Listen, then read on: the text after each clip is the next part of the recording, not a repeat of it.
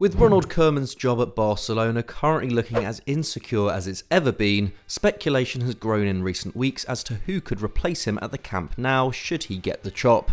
On today's Scout Report, we're going to take a look at three of the most talked about candidates and assess whether they'd be a good fit. Let's go. Roberto Martinez. The name most strongly linked with the Barcelona job of late is Roberto Martinez, who, having coached the Belgium national team for over five years now, may feel he's ready to re enter club management. And while taking on a position at a club in Barca's predicament right now would certainly be a jump in the deep end for the former Everton boss, he's understood to be top of club president Joan Laporta's list. According to a recent report by Goal, the Barca hierarchy have already made contact with Martinez, and although official negotiations are yet to begin, the coach has apparently informed the Belgium FA that he intends to take the job if it is offered to him. This would require Barca paying 1.5 million euros in compensation, something they are reportedly happy to do, while the appointment would have to take place following the Nations League finals in October. But is he the right fit for Barcelona? Following the tenures of Ernesto Valverde and Quique Setien and the last 12 months in which Koeman has tried a number of tactics and shapes to get the best out of his squad, it's not as easy as it once was to say exactly how the Blaugrana should play. But he has always been committed to attacking football, and despite spending most of his playing and managerial career in the UK, Martinez is Catalan, which will have done him no harm in the eyes of Laporta. He famously set the possession-based blueprint which was later followed by Brendan Rodgers and Michael Laudrup at Swansea, while his Belgium side have been among the most entertaining to watch at the two international tournaments in which he's led them. His Wigan sides were less dynamic, which was at least partly due to the limited talent at his disposal, and following his superb first season with Everton, his time at Goodison Park was a bit disappointing. Nevertheless, that first campaign on Merseyside is a good example of how his teams can look when things go right lining up almost exclusively in a 4-2-3-1 with a young Romelu Lukaku leading a direct and pacey forward line, Martinez's Toffees like to shoot a lot. Ross Barkley, Gerard Deulofeu, Kevin Mirallas and Lukaku all averaged over 3 shots per 90, and the team as a whole ranked 6th in the league for shots and shots in the box. For context, only Man City and Liverpool created more goal scoring opportunities than that in 2020-21.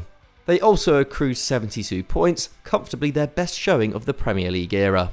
But his side's success that term was also thanks in part to the solid defensive structure left over from David Moyes, conceding fewer goals than any side bar Chelsea and Man City. And as this faded in the following two years, Martinez's team suffered, finishing 11th in back-to-back -back campaigns and failing to breach the 50 point mark on both occasions. But despite his reputation for being a defensively naive coach, Martinez did at least make moves to combat the deficiencies of Belgium's so-called golden generation. Noticeably light on quality at fullback, he shifted them to a 3-4-2-1 system, one which Koeman had some success with at Barca last term. This served him particularly well at the 2018 World Cup, in which his side were the top scorers on 16 and conceded just 7, the same as winners France utilising Thomas Meunier and Yannick Carrasco as wingbacks, with Meunier's defensive inconsistencies marked by an excellent back three, and Carrasco's experience as part of a watertight Atletico Madrid side making him an ideal candidate to hold down the left flank, Martinez got it spot on. Only switching systems for their impressive win over favourites Brazil, in which Lukaku was shifted to the right of attack in a 4-3-3, he was one of the most tactically impressive coaches at the finals, and had he overcome a once-in-a-generation France side in a semi-final split by the finest of margins, he may well have taken football's ultimate prize. Having won 78% of his matches in charge of the Red Devils with just 5 losses in 64 games, it's fair to say that Martinez has learned how to maintain a winning side. The fact they have held the number 1 spot in the FIFA World Rankings since 2019, the longest such run since Spain in the early 2010s, is further evidence of this. Defence would still be a worry for him at Barca though, his ageing back line looked a lot more vulnerable at Euro 2020, and defensive frailties were also a sticking point for the Blaugrana last term. If Laporta wants someone who can rebuild a side from back to front, then Martinez may not be the best choice. Xavi While he may be a bona fide Barcelona legend, appointing Xavi as manager would not be without its risks. Once the favourite to succeed Koeman, during the run-up to the club's last presidential election, it was known that the former midfielder was in line to take the job if Victor Font beat Joan Laporta, with the candidate even joking that he'd cover every Barca season ticket for a year if he was unable to deliver him. Font was of course unsuccessful, but having overseen the club's golden era of the late 2000s and early 2010s, Laporta maintains a close relationship with Xavi, and it seems only a matter of time before the Al Sadd manager returns to Catalonia. However, with the Qatar World Cup just over a year away, the 41 year old, who is a major ambassador for the tournament, may be minded to stay in the country until then at least and despite Catalan publication Sport claiming that many Barca board members favour him as Koeman's successor, Laporta is less convinced. Earlier this year, he said that Xavi needed more experience before taking on the club in its current situation, implying the need for an older coach to lay the foundations for success before he takes over. Nevertheless, it's not out of the realms of possibility for Laporta to be swayed. After all, he took a chance on a 37 year old Pep Guardiola in 2008 when he had just a year's worth of managerial experience with Barca B in the Spanish fourth tier. And when you consider his playing career, it's no surprise that Xavi would offer a return to the ideals of Guardiola if he were appointed perhaps the most ready-made player for Pep's tactical vision when he took the reins from Frank Rijkaard all those years ago, the former Barca captain implemented the possession-based positional play that the Blaugrana became famous for after taking the Al Sadd job in 2019. His side retains 64% of the ball in games, a figure well above the Qatar Stars League average and not far off the kind of dominance enjoyed by Barca in their 2010-11 pomp. He also lines them up in a 4-3-3 or 4-2-3-1 depending on the opposition, favouring the latter if they are facing a front three, while he also experimented with a 3-4-3 shape when he was first appointed. As you'd expect, Xavi's side attack and defend as an entire unit, with quick recovery after losing possession, a high press and fast progression through the lines all hallmarks of their play. Their 79 progressive passes per 90 is unsurprisingly the highest in the league, for context, Barca averaged 47 progressive passes a match last term, albeit in a much tougher competition. And the fact Xavi has been able to employ the likes of Gabi and Santi Cazorla, two of Spanish football's great midfield technicians, has certainly helped his cause too. But that's not to take away from his achievements. Last term, they went unbeaten in the league, the first time they'd done so since 1996, dropping just 6 points all season.